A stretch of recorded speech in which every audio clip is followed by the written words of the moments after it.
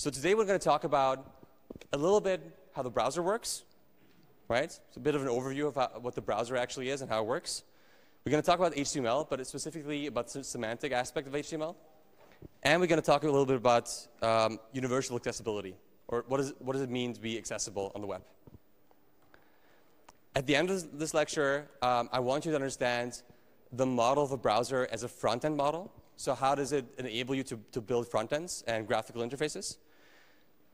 I want you to be able to, to um, build uh, basic HTML documents with uh, semantically correct HTML. We're going to come to that later. I want you to be able to explain how forms in HTML documents relate to HTTP, the thing that we heard last week. And, and uh, eventually, I want you to understand how if you write correct and semantically correct HTML, it helps with accessibility. I think that's the main takeaways from this lecture today. Right? So if you look at the browser as, as more than just showing me some websites, it, what it offers you is a, a powerful, powerful declarative language for defining user interfaces. If you've ever built UIs with uh, something else than, than the web, and when I say the language, I mean HTML and CSS, it's very tedious, right?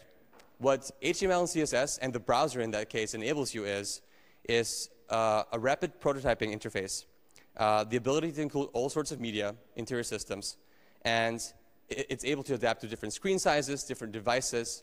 It's, it's all around a pretty good experience if you're a designer or an implementer of, the, of these applications.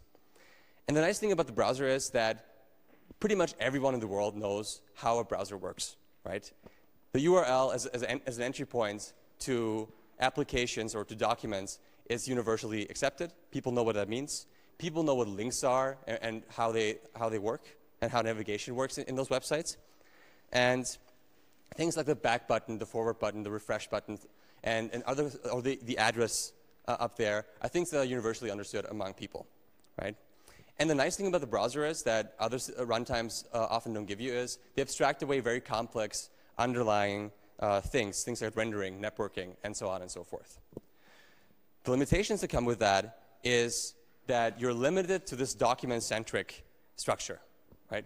And what that means is that if you look at the, if you remember the history of the web from last time, it started in the early 90s or late, late 80s, depending on how you want to look at it. And it started as a platform to share documents, right? And the way that HTML, HTML was designed and evolved is still about documents. Although nowadays, we build very powerful applications with those same things. And what that means is that the interaction models that we have, uh, if we want to extend it to the basics that we have in HTML, are kind of more difficult. The second thing is, and that's what we saw uh, last time, is that we are limited to a set of protocols. We're limited to, H to mostly HTTP, HTTPS, in the way we can communicate with other services. And, and that's going to be something that you will notice in the exercises, you're limited to what you can access on, your, on the computer if you have a, a, native application, you can access the whole file system usually. You can access all sorts of hardware that is on the computer. And um, the way you, you exercise those things uh, with a browser is through uh, something called a browser API. So the browser gives you a, a, limited set of things you can do. If you want to go beyond that, it's very difficult to actually do. And, and this is also true if you want to access uh, things like cookies or, or local storage. Uh, you will have to go through the limited interface of the browser to do that. And last but not least, you mostly have pull communication, meaning that the server offers you resources, and you as a local document, as a front end, pull from those resources. There's one clear exception here, and maybe some of you have heard of this. It's called WebSockets. Socket, so WebSockets is a, is a mechanism for the server to push back some content. Um, unfortunately, in this lecture, we're going to be limited to talk about pull communication. And if you look at the web in, in terms of empirical studies that are out there uh, in publications, uh, I think more than 80% of the web is actually just pull communication. So let's have a quick look at the browser internals.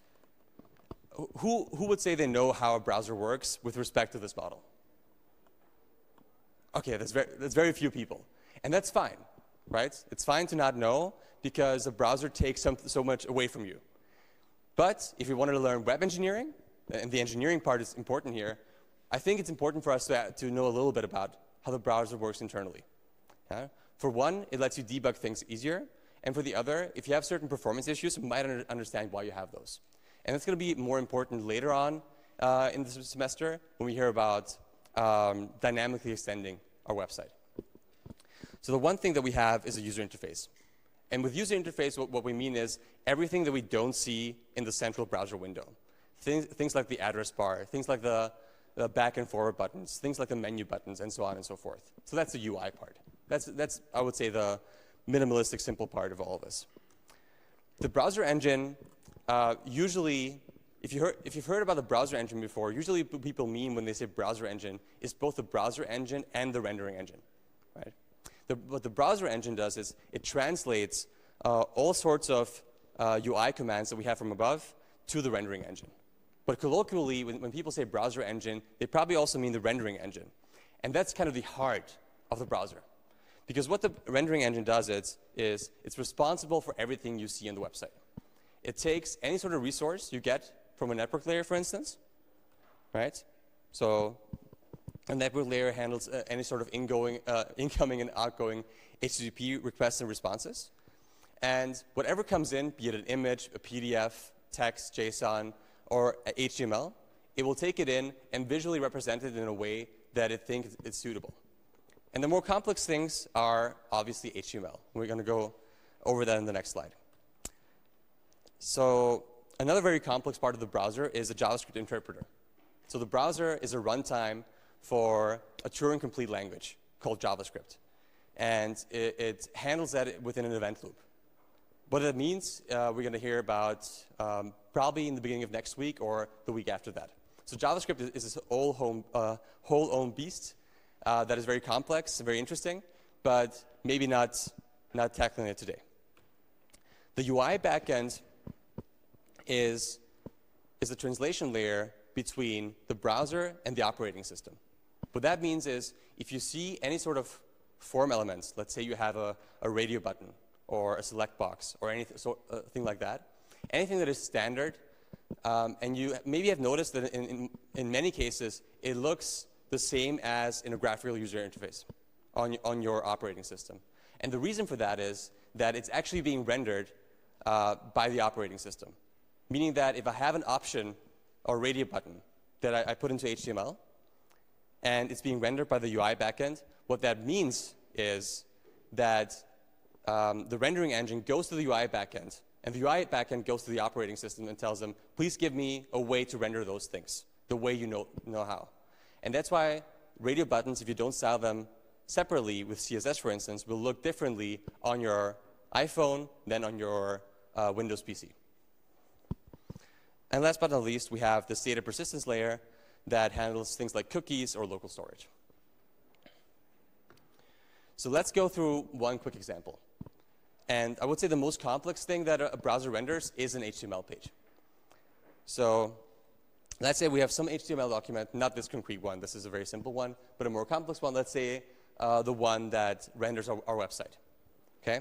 So on a very high level, you can think of, well, it takes this, you know, semantically defined text that is HTML and translate, it's, it's a function that takes that and translate, translates that to a 2D representation, a visualization, if you will.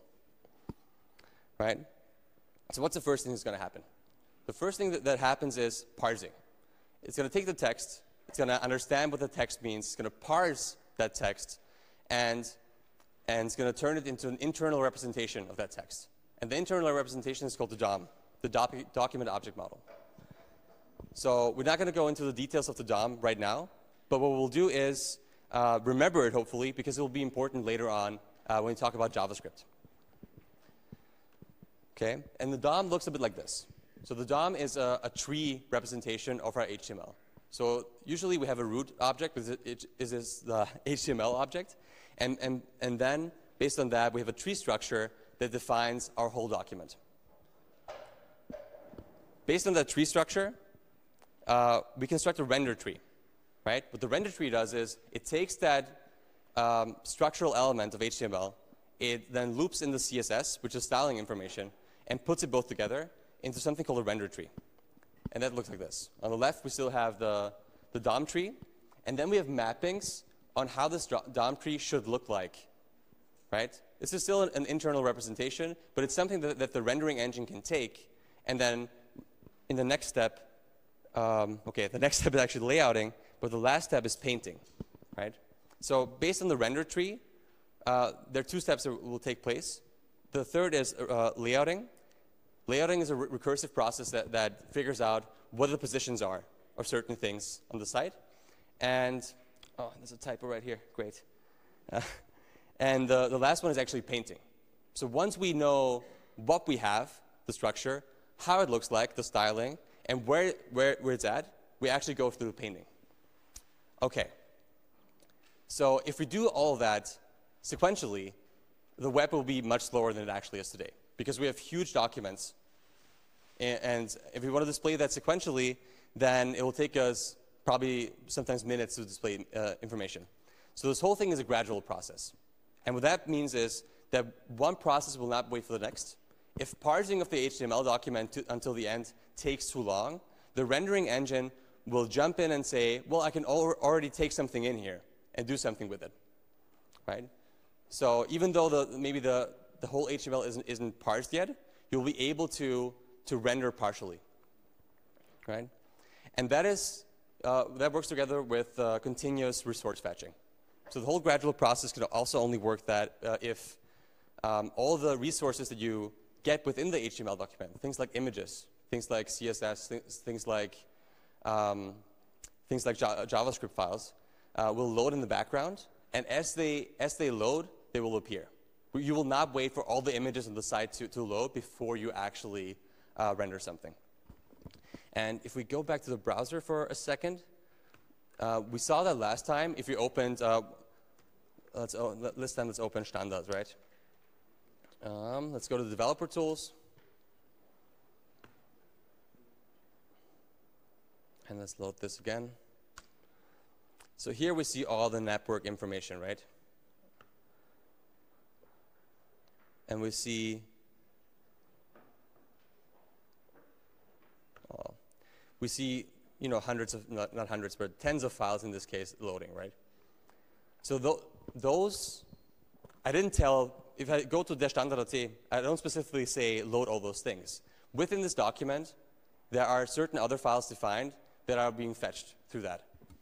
But if we go to any other site, Presse for instance, even though a, lot, a bunch of things in the background are still loading, I can already see the page. And that's a gradual process I'm talking about, right? You can still see things loading here, but I'm, I'm already being able to scroll here and see most of the page. Okay? And what you see here in, the, in this sector is something called the waterfall. It shows you the, the synchronous and asynchronous processes that are going on. Uh, no questions, okay.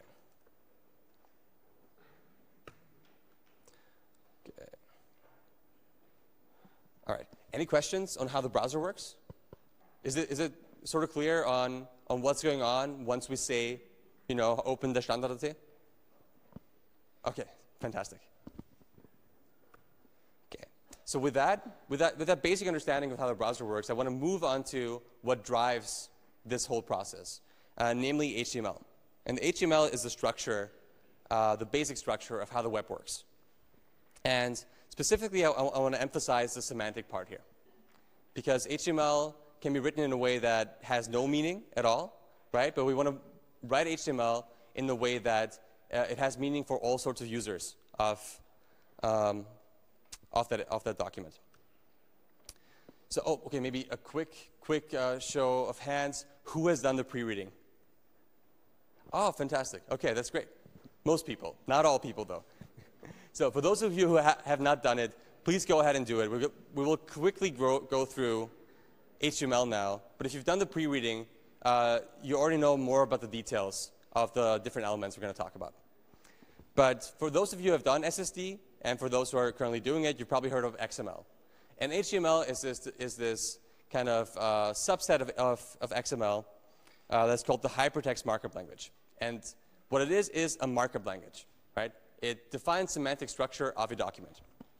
And the way it does that is it has this thing called a tag name of an element, uh, tags, so those elements can have attributes and contents.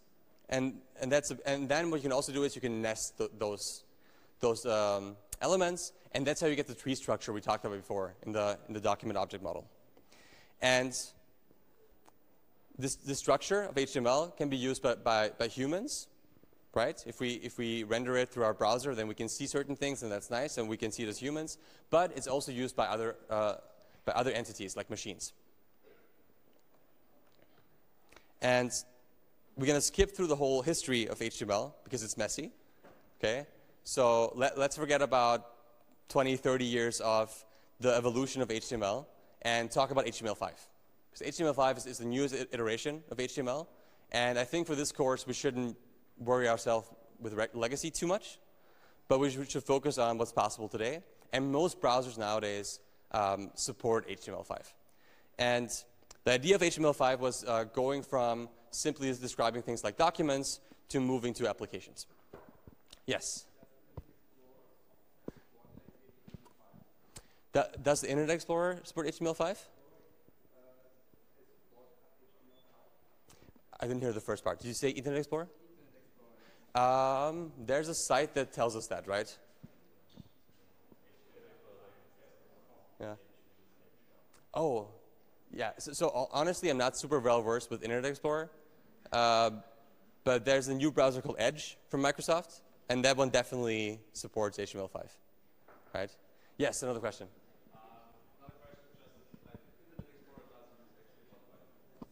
does use it? Okay, great.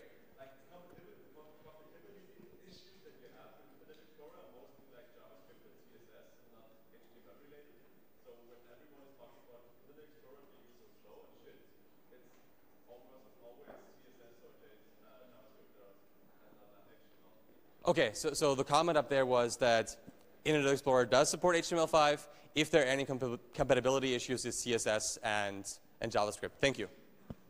Uh, I would say for this course, focus on Chrome right now, just because you're already learning a lot, and Chrome is available on all platforms, and it's, it's the browser we're actually using for testing on our side as well. But yeah, but HTML5 has, has been sort of this, this converging towards a, a, standard that, that people, like a lot of people in the W3C, the World Wide Web Consortium, think is, is pretty good. And it's the newest version. Uh, I, I would say let's focus on that one in this lecture. And the basic structure lo looks like this. Maybe a lot of you have already seen it. You have this thing called the document type, which is the, the, the top up there. You have the document element, which is the, the tag HTML. Then we start out with a head that, similar to HTTP, has certain uh, meta information, things like the, the char set, things like the author, title. Uh, sometimes in there you also have uh, a link to the styling information. And then in, in, the body is the thing you actually see within your uh, window, right? In this case, the body is very simple. We have a heading of the, of the first order, H1, and we have a paragraph, and that's it, right? So just to quickly go through one slide of legacy. Uh, in, the, in the past, or if you open any sort of website on the internet, you will see all of these here, right? You'll see all sorts of different headers. And what they did is tell the browser which version of HTML to use for parsing and for in interpreting and so on and so forth, right? Again, the only important one for this course is the HTML5 one. Just think about that. But if you do see those other things on the web and you ask yourself, why, why do you need all of those things? It's because we had something called the browser war at some point, meaning that certain vendors thought uh, they know how to do it better and you know, had different implementations for different things, and we have different variants of, of different specifications, and so on and so forth. So there's one thing called, called the quirks mode, and the quirks mode, if you, if you hear it at some point, just means that um, the layout that is being rendered mimics non-standard behavior. And that's why it has this, this interesting name, Quirks mode. But that's all the legacy I want to talk to you about today. Uh, for the, this course and in the exercise, let's just use the, the HTML5 one. Okay. And as said before, um, the head is, is not really visible except in the, in the title page. It's just meta information for things like crawlers and, and the browser itself to do things, right? Um, and also information on the head you can, you can access through JavaScript. Now, the way that elements work is that they have those attributes. and the attributes tell the, tell the browser or any sort of other parser that, that works with the HTML how to render certain things or how, or how to uh, interpret certain, certain things about the element. Now here we have a generic div element, and those are things that you have or you can have on every element. ID is something that identifies as one particular element. It has to be unique, meaning that there can be only one, uh, the, one of the same ID in the same document, right? The second one is uh, something called class. Class identifies um, uh, certain elements that belong to a category that you can style. So class is something you can access then in CSS. Uh, title is something that is being displayed as a tooltip. So if you hover over the element, you will see it as a tooltip. Uh, language is, is, this thing that is barely used actually, but uh, you can specify to specify the language of, the, of a certain element. Then you have those data star things. Data star is interesting because it's uh, a well-formed attribute on every element. And what it means is that uh, you can attach any sort of data attribute to any sort of element, and that becomes important later in JavaScript. So if you want to introduce certain, certain um, unique attri uh, attributes that are not covered by the HTML standard, you can say, well, I'm going to add a data attribute and it to that, and it's still a well-informed HTML. And then last but not least, you have the, co the content block, right? So content is uh, either text, you just type text in there, that's a text node, or it's, um, it's any sort of other element that is allowed within that element. Right? So not every element is allowed within certain elements, but we're going to talk about that in a few slides. Okay. Now, let's talk about semantics a little bit. If you write HTML in some way, and you go into the browser and have a look at it, it will have some standard representation. It will look a certain way. Now, the thing is, the semantics of what you see is not given by how something looks in standard representation. Yeah? This is a kind of, kind of a beginner mistake that, that people make. And it's, it's sort of detrimental uh, to people who, are, uh, who rely on other, other devices as a browser or as a standard browser that you use. Right? So if you use H1, it should be the first order header within your document. Should be the only thing that, that the only header in your document, and it shouldn't be used to print thick text, right?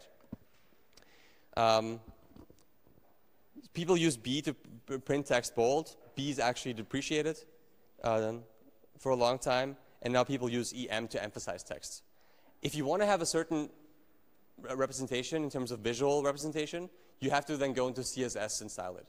But if you think about designing your, your or structuring your, your, document, what you should think about is um, what does it say about my element in there?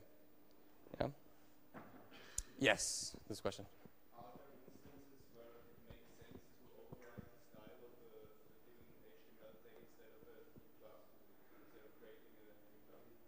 Oh, you mean as in the example before? Like having the style in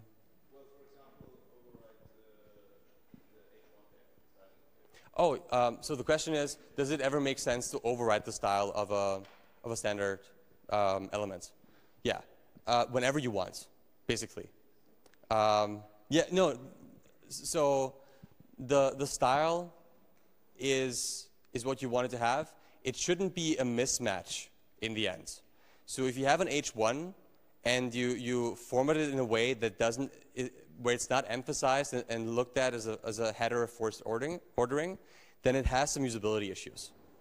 But theoretically, if, you, if your style guide, for some reason, uh, tells you that certain elements should look a certain way, then override any way you want. But you sh it shouldn't be a semantic mismatch of what you see and what you have in terms of structure. Yeah. Yes?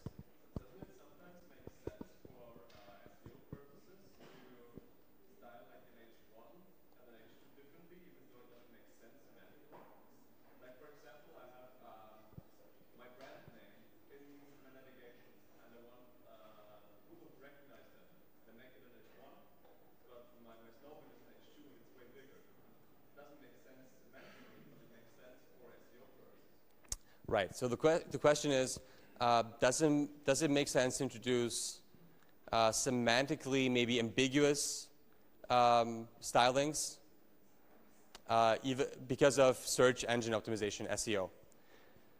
I mean, you got to do what you got to do to to get your site up up on Google, sure, but I, I would say it's it's a trade-off between having your site higher up on Google and then having, for instance, uh, screen readers interpret your site in a wrong way. And that's a trade-off you have to decide on. I, think, I don't think there's a right and wrong on, how you do those things. I think there's always a trade-off that you need to be aware of. Yeah. yeah. But that, yeah, that brings me to, to the second point here. Um, the reason we, we want to use semantically correct things is because uh, it's not only visually, uh, um, you know, people that, that have perfect vision and perfect hearing looking at your things, uh, people with all different sorts of disabilities or, or abilities uh, will look at your things, and the semantics of your HTML will be a, a, one of the determinators of whether they can uh, are able to to access those things, right? Okay. Right. So, and, and this is also something new that, that was sort of introduced with HTML5, but was also there before that, is, is this very common document structure. Usually what you have in the document is, is a header, you have some navigation, you have maybe a couple of sections and articles, uh, and a footer. And then maybe sometimes you have this thing called the side, which is, is a sidebar. Um, now, again, those are not set in stone, right? Not every section has to have an article.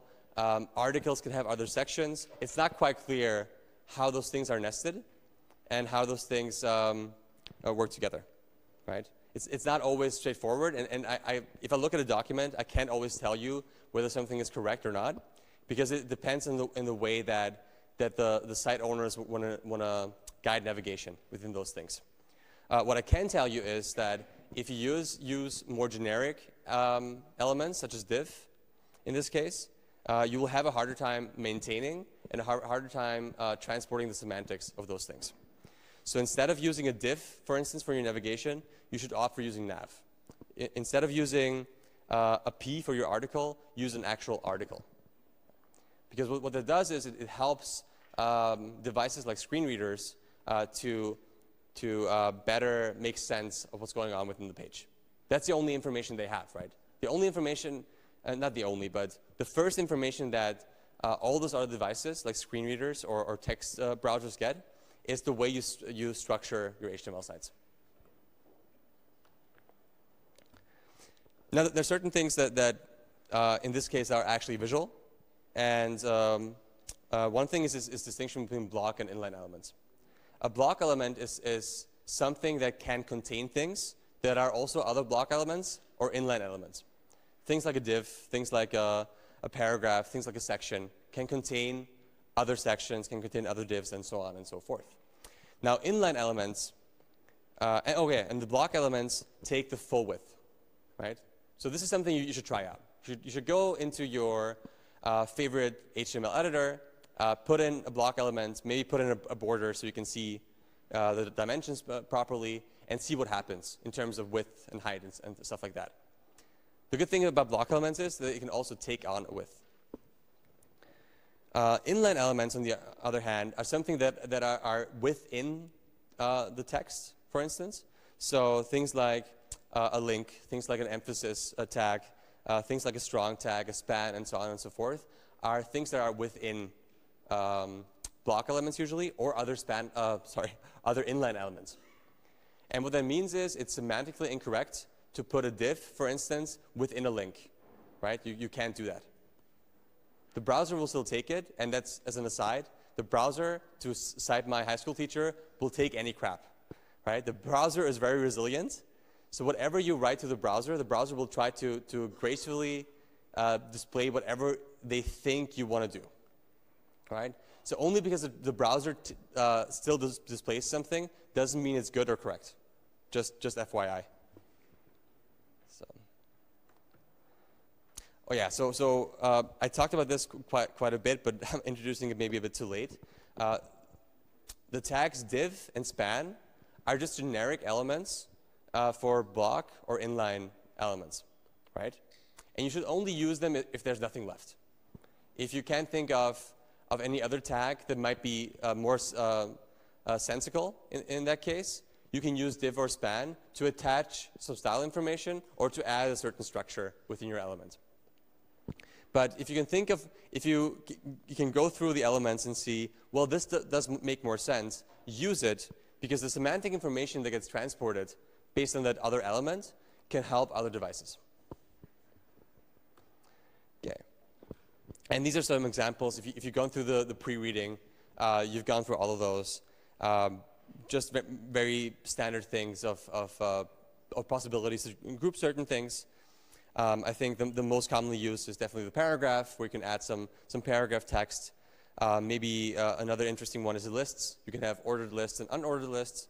And yeah, I would say those are things that you learn by doing. If I just show them to you now, it's not something that, that you can actually take away with you. So links and anchors are, are, are sort of interesting uh, because the way that the historically the web was designed was was um, for links to be the main attraction, right? Links are the things, and it, it's still kind of like that, right? It, but if you, if you think back to, to Tim Berners-Lee and the information system that, that he envisioned, uh, it was about linking different documents together. And now we have two distinctions here. The one link we can have is the link to other, other sites, to other resources. And that's the links that you probably already know. You link to um, the shopping cart. You link to uh, just another website, right? Or you link to, to uh, an image or a video or whatever have you, right?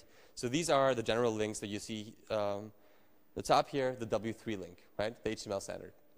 And then there's something that we talked about last time uh, with the URLs. You have something called resources. Uh, not resources, what is it called? Uh, fragments. Uh, you have something called, within a resource, you can have a fragment. And that's, in HTML language, it, it's an anchor, right? So, or the anchor is a link to a fragment.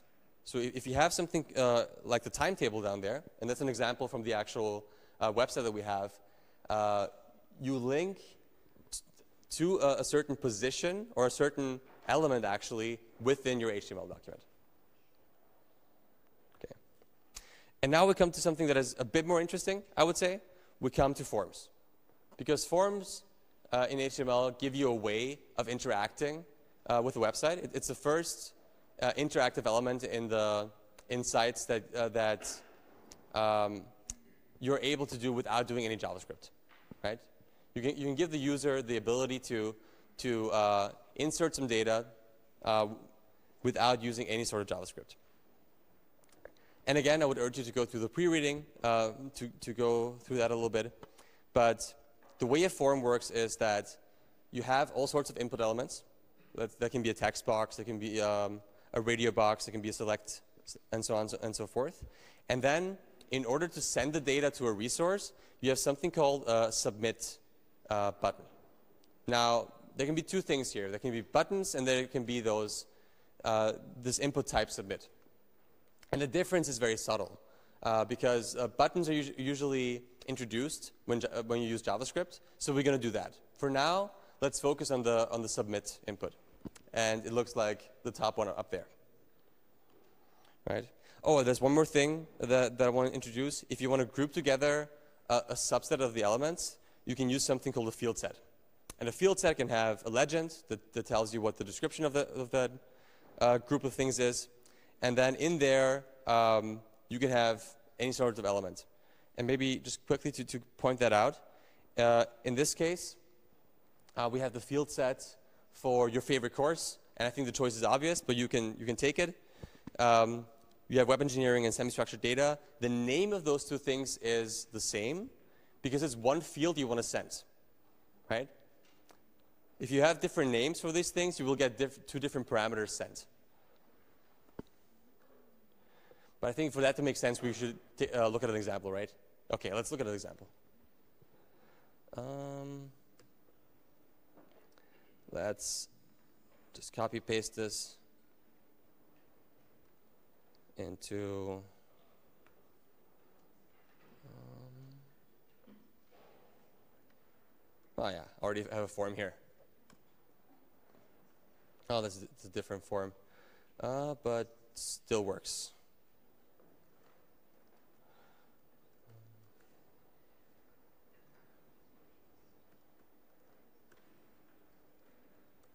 Is that okay? Maybe.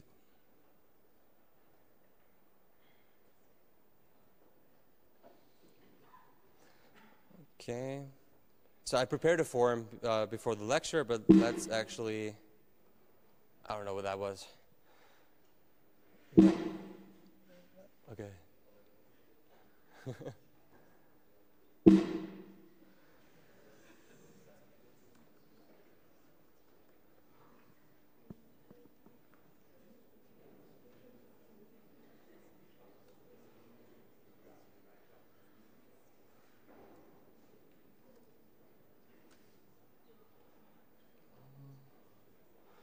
right, this is not well formed, but for now, actually, let's just do this. Okay. So I'm not sure what that is. I hope it's not me.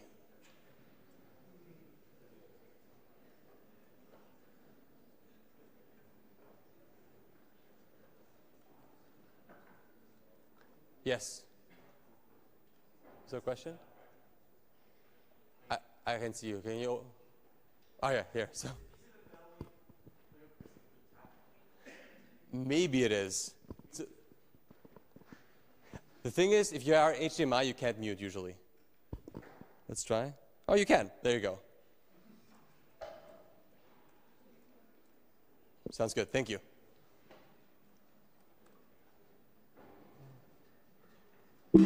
Ah. Okay, good. We figured it out. Thank you for troubleshooting.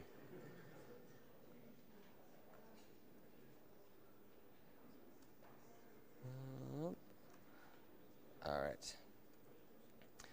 So um, I had some some requests been open here. I don't know what, which one it is. So I'm gonna just remove this.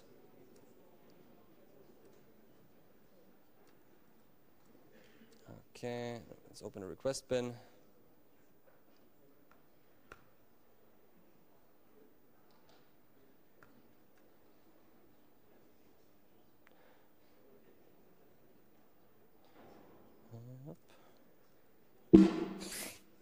Okay. But I have muted it, so I don't know what's happening. But I, I will I'll be careful with the tap button. Sorry about that. Okay, so now we have this here. Oh, I don't have a submit button, so that would not work. So let's add a submit button.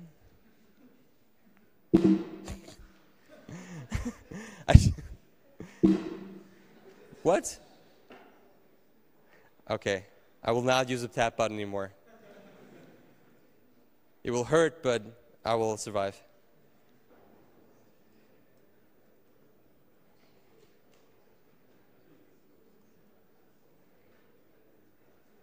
It's actually.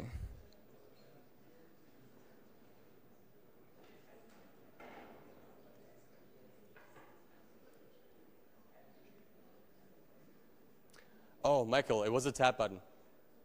Okay. Yeah.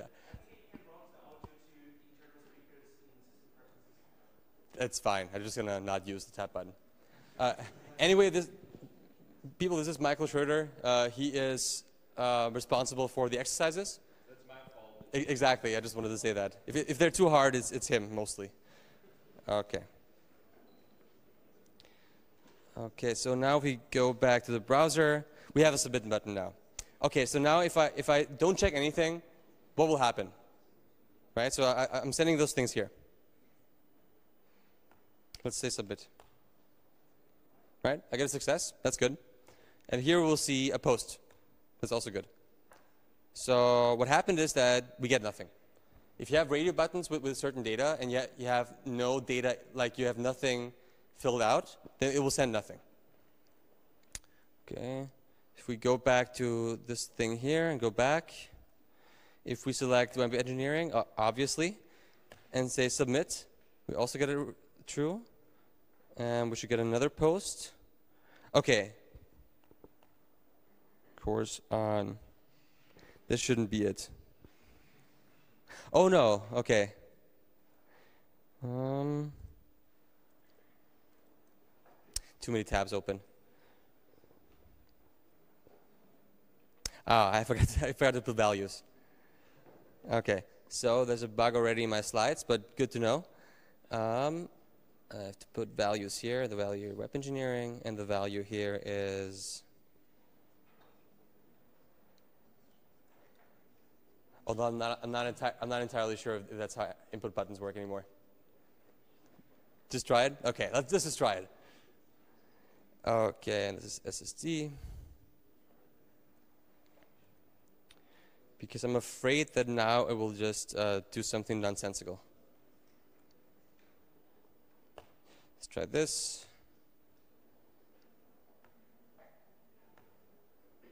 Okay, there you go. So you have to provide a value. And the thing is, if I, uh huh. What's going on? Interesting. good, good. Nice. Hello, everyone. Nice. I, am not opposed to that at all. If you want to post messages, go ahead. Just don't be vulgar. Um, I know. Okay, so maybe one more thing that, that I want to mention here is the label part. So what, what we could have done is just have this without a label, right? So if you just remove this here, right, and you just have web engineering, and we go back here, then it's the same thing for us.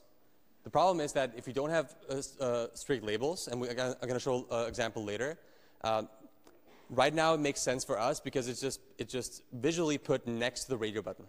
If you don't have a label for something, uh, a screen reader usually what it does is it linearizes those things. It puts them sequentially next to another. And then if you have multiple fields, it's difficult to assess which one you're actually uh, pressing on if you're not using a, a, visual browser. So what I would urge you is to always have those labels on here. And, that, and that's a semantic notion I'm, I'm trying to, uh, I would say, um, transport here. Okay, let's go back to the slides. Okay. Yes, Simon, right? There you go. I'm going to remember some of the names here.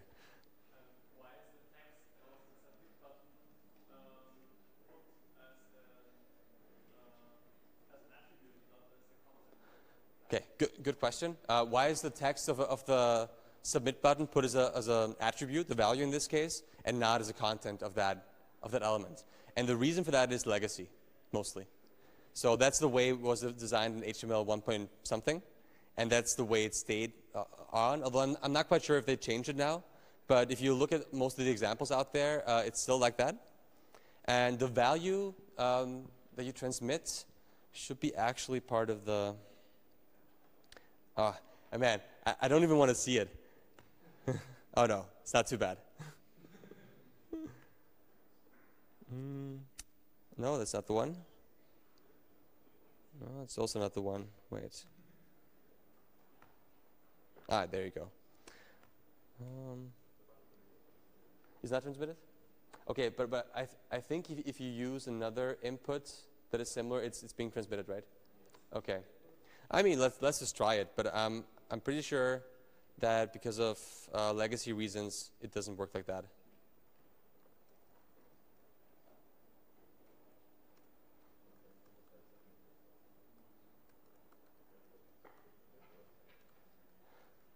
I don't think that will work, but I don't know. Let's try.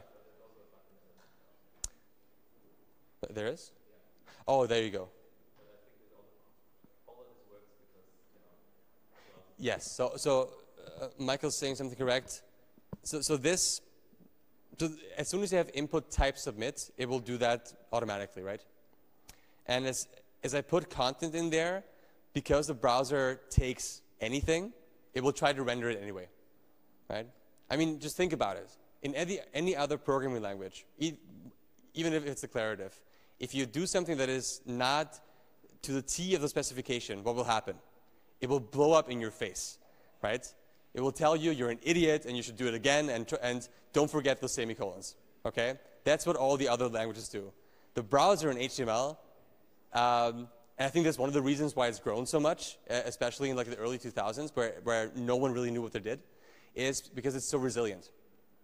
Even if I do something that is incorrect, and quite frankly, I will definitely do something that is incorrect here uh, when I do a live uh, demonstration, it will take it and it will, it will show it to the, to the best way possible, right?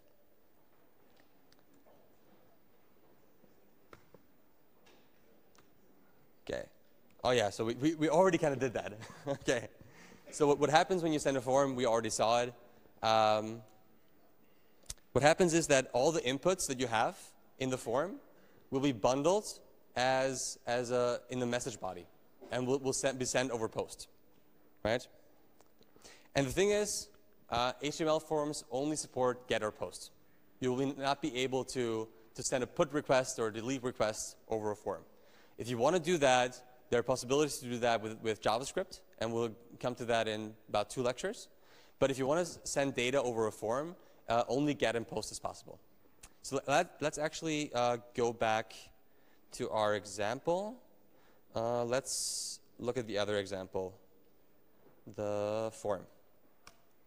So the form is very simple. It's, it's the one that's actually also shown here. And it ha just has it just has a username. So if we open, nope. If you open, last time, I, I promise. Okay, so, and I think in this case it was, uh, oh yeah, so this is, yes, so I tried it out, and this is a different one, let's, um, what was the other one called, option? sorry, sorry about that. Uh, ah, radio. Okay.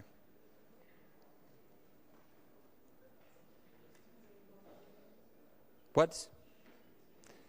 Whatever. Okay.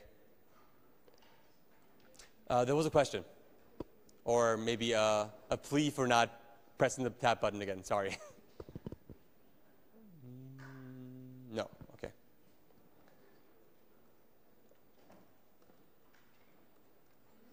Let's copy this. So if you put method put into your form, it will just translate it into a get. That's, that's the graceful degradation that it does. Even though it's completely illegal, it will take whatever you give it and, and, and gracefully make something out of it. So if we go back to the form and we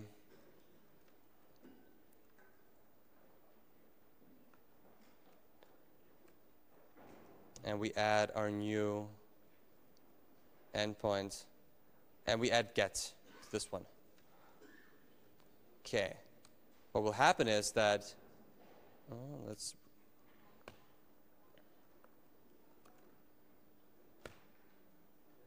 you can already see it here, right?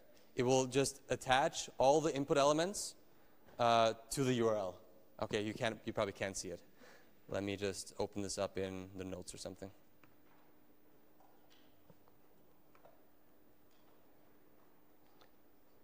What happens is if, if, you, if you use the form uh, with a get method, it will just attach a question mark, and then we'll, it will put an associative array um, serialized as key equals value, and then the and here, right? And it will look like this. And the same thing basically happens with post, but what you have is everything after the question mark will be part of the message body. And if you look here, where's the request bin? Wow, okay. There's something seriously wrong here. Hmm. All right, maybe I should, I should start a new one. Oh no, there it is, right? Now we can see this here. And in this case, for some reason, the submit button is part of the, the payload. Right? That's fine. Okay, so in terms of slides, we basically went through all of this, right? So what happens on a server perspective is, is that the server gets that request on the resource with the parameters, does something with it, and gives something back. In this case, if we look at the response that we get from request bin, it's just a success message. We just get this, this here, right? That was, that was not the tab this time, something else. okay? But it can also be, so usually what you will do is, if you send a form somewhere, it will, it will parse the parameters, it will do something with the, with the parameters, and will send back some message. That message can be an HTML, can be a JSON, can be whatever you want. Right? In this particular example, it's an HTML message that says, Hi, first name that you provided, thank you for using the application. Okay. Are there any questions on the, on the form part? Okay. Maybe one last thing I want to show in the request bin. Up.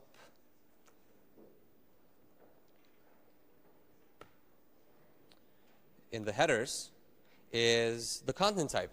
So the content type is interesting because it's this, this weird thing here called application x dot dot dot form URL encoded. That's just a fun fact, right? So every time you send uh, data over a form, the, the server will know based on the header because that's the header that the browser will send with it. If you don't want to have that header in there, you have to send your request over JavaScript.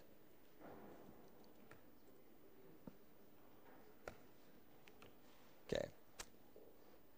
So any last questions uh, on, on forms, maybe, on HTML in general? Does everyone know HTML? Yes?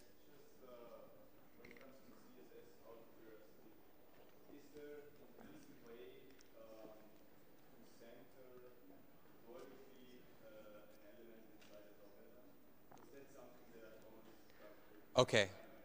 Right. Um, so, so, maybe today even, or but probably next time, we will go into into those issues, things like positioning and things like stuff like that with CSS.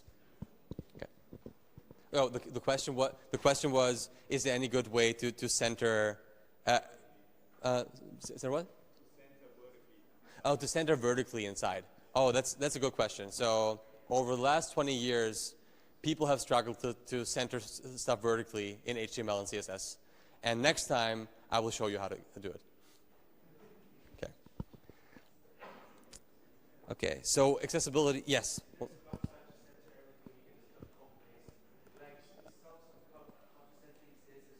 Okay, so, so there's a comment that's, um, uh, what's your name? Uh, Andy. Andy?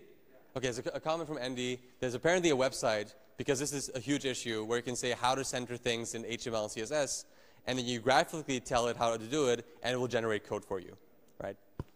But because we're web engineers, we should know it ourselves. Okay. So the last part of the lecture will be about accessibility. And in accessibility, I want to talk about designing and building um, experiences on the web uh, for universal access. And accessibility in that sense, I think, starts with the question of who are we designing for? And we are designing for hopefully everyone, right, as much as possible. And if I say everyone, I mean people with dis disabilities of different forms, be it physical, mental, even temporary injuries, uh, or even non-native speakers, right?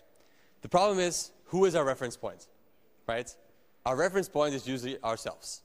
And on average, ourselves means people that are able-bodied, uh, do not have mental disabilities, and so on and so forth all the people in the room here uh, are certainly biased towards a certain point of view when designing user experiences, right? So intrinsically, it's hard for us to design for other people because we only have this frame of reference most of the time, right? And if you think about common disabilities that, that pertain, are pertaining in the web, you have vision problems, you have hearing problems, you have certain movement problems, and oftentimes you also have reading difficulty. Okay. People, are there questions in the room? Okay. Uh, no. So, because we, we usually only design for ourselves, um, standardized guidelines, such as the ones I'm going to talk about today, uh, can help us design these universal experiences, right? So things that, that take us out of our frame and tell us, well, have you thought about this? And have you thought about that? Right? And those guidelines are, are something we're going to talk about. And there are a couple of guidelines um, that are uh, under the umbrella of the W3C.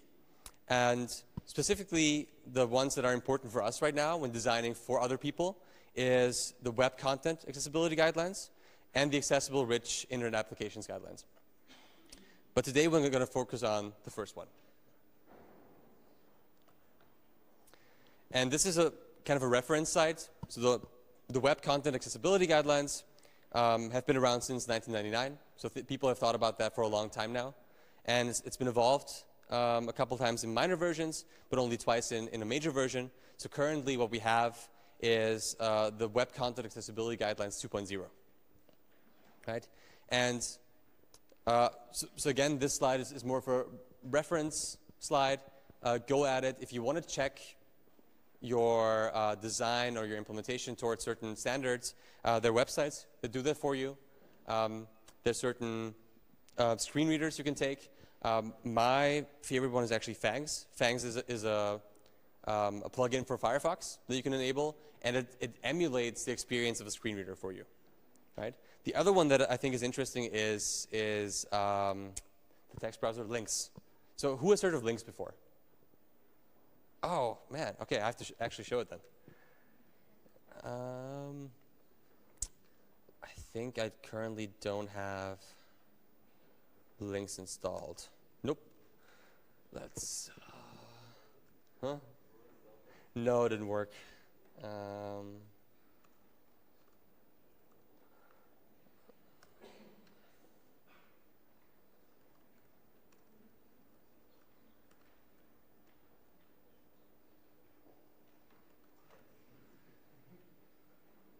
What?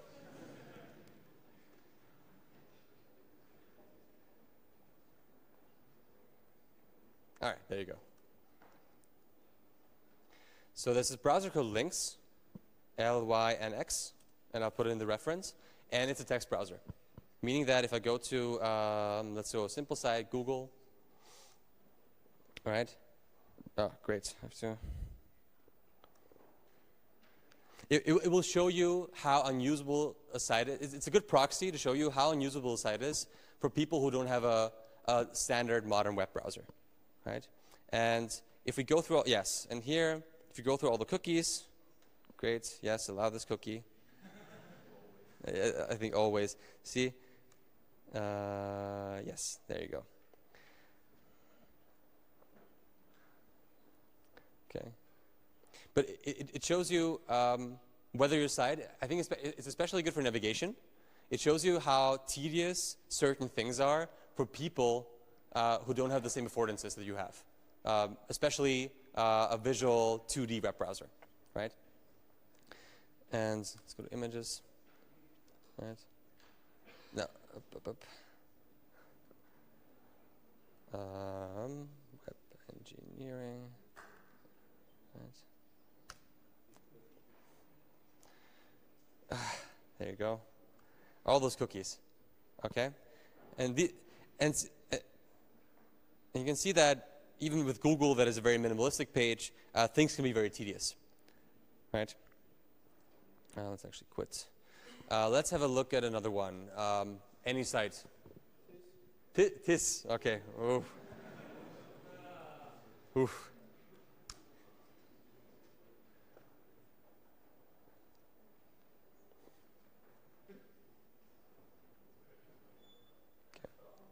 It's actually quite okay. Right?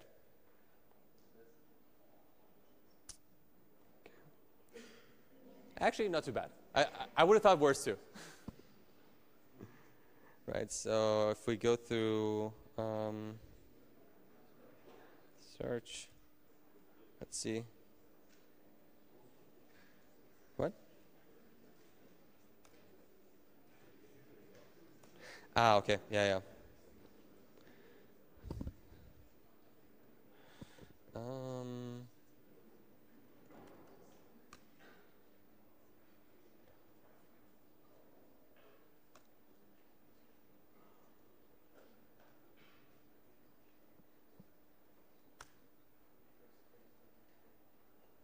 41 hits. All right. Oh, yeah, there you go. All right, it's not too bad. Um, let's go to another one. So the one that I, I actually had in mind was, was some newspaper, because those are usually terrible. Uh, let's say New York Times? Sure. Th those might actually, might actually be good because New York Times has its own accessibility group, I think. Let's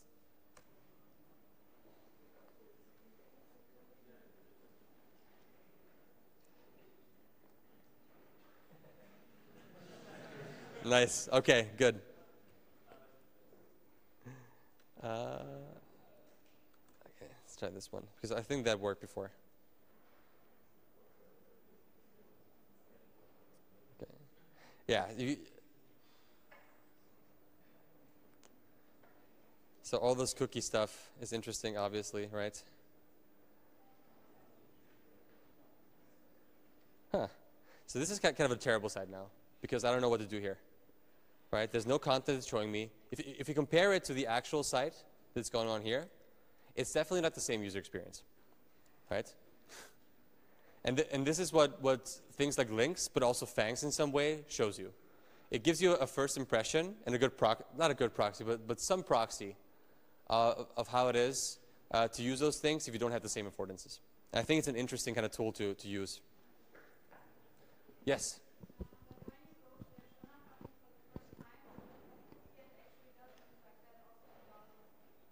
Also in Lynx? For which one?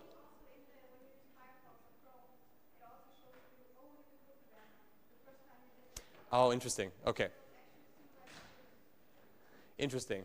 But the thing is that, that uh, so the, the comment was that if you go to the standard, for instance, for the first time, it will show you the, pop, the, the cookie uh, pop-up and nothing else, right?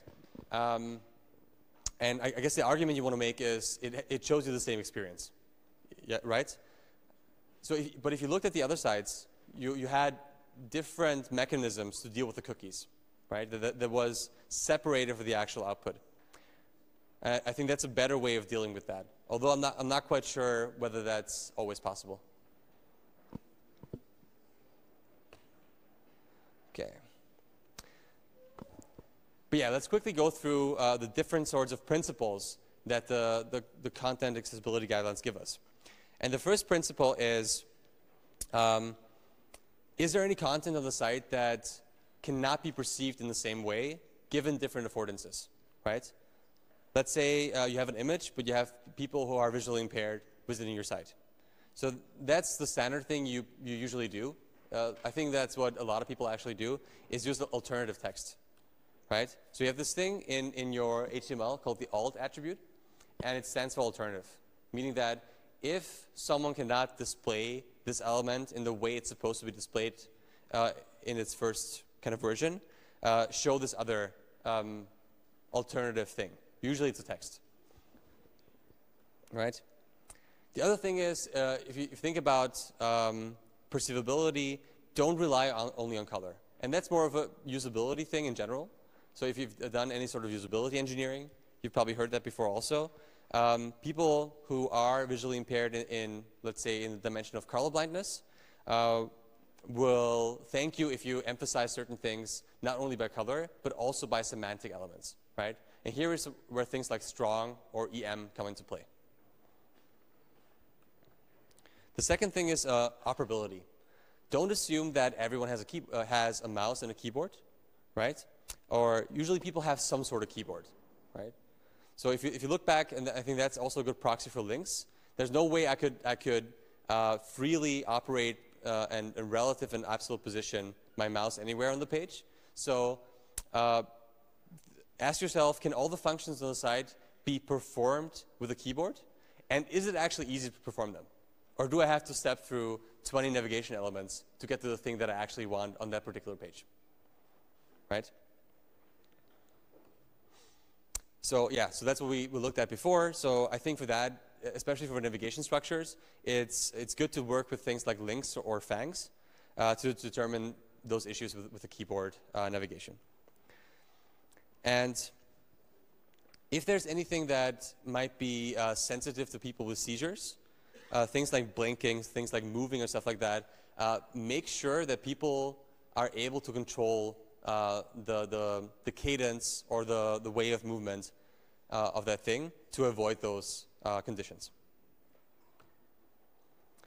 Then understandability is, is a bit more subjective, I would say, but it's something that to keep in mind uh, for people with mental disabilities is, uh, is your text readable? Are the things that you do on your website predictable in the way that we talked about in the beginning? The browser in itself is predictable because it, it affords us this, this thinking of links and documents, right? If you do something completely differently, then maybe people will not be able to follow what you're doing, right? Um, and then the robustness is something that that uh, the browser kind of does for you a little bit. The, the browser, uh, with a lot of mistakes that you might make in your HTML and CSS, it will gracefully degrade. But think about comp compatibility with other devices, right? And for that, I think that the, the only way you can, actually uh, do that is actually test on different sorts of devices that you, you might have, uh, different operating systems and different modes of operation. And with modes of operation, I, I mean uh, entry points into, the, into your application as well as what we said before with only using the keyboard, um, only using voice, for instance, to, to navigate. And then that, that's something that probably requires uh, our own lecture is design for performance we're not going to have the time for in this intro lecture, uh, intro course to, to go into that, but think that not everyone has uh, a high-speed internet connection, right? Especially in, in, in, countries like Brazil or parts of Africa or Asia, uh, not everyone has 3G or LTE. And the other hand is also not everyone has powerful devices. So both when you're designing for your backend, where network speed comes into play, but also for your front end, where uh, rendering comes into play, think about uh, all those things. And these are so, some examples that, that come from, um, let me see, there was a the source somewhere. Uh, some examples of how to do, how to um, underline certain things, how, how, to enhance certain, certain um, let's say, uh, elements in your page to be more accessible. Um, the one is using CSS to, to hide uh, a portion of elements in the screen if they're not necessary for certain other devices. Another one is to add alternative text. And then uh, what I said over and over again, adds semantic markup, right? So in the lowercase, uh, add things like uh, EMs to, to add emphasis. Don't only change the color or make it bold or stuff like that. And I want to give one last example here. And then, who wants to start with CSS today already? okay, quite a few people. Who wants to leave early? I mean, more people want to do CSS. Okay. so let's go through this example and then maybe just start, uh, start talking about CSS. So if, if you look at this very naive example, it looks kind of terrible and bad, but it, I can tell you more than 50% of the web looks like that, right? And if you look at the, uh, at the outcome of it, it looks okay actually. So within your, the regular standard browser that you have, it might look, actually look okay, okay, but there are certain things that are not great with it. Because most of the time, what the screen reader will do, let's say for fangs, but even uh, for Lynx, is it will serialize uh, the way that the, the inputs will look like. And let's say you have 15 fields in a row or more sometimes, and you don't know where the labels are. So if you don't have a semantic connection from the label to the actual input, a screen, uh, people who are using a screen reader will not actually know what the input uh, means that they're typing something into, right? The second example here is if you are suffering from color blindness uh, or myopia, it might look something like the second image here, right? So be aware of the contrast that you're using. And last but not least, the um, what's my next one? Oh yeah. So if we and that's a pet peeve of mine, especially uh, because it also is terrible for machines crawling your your input. So things like search engine optimization.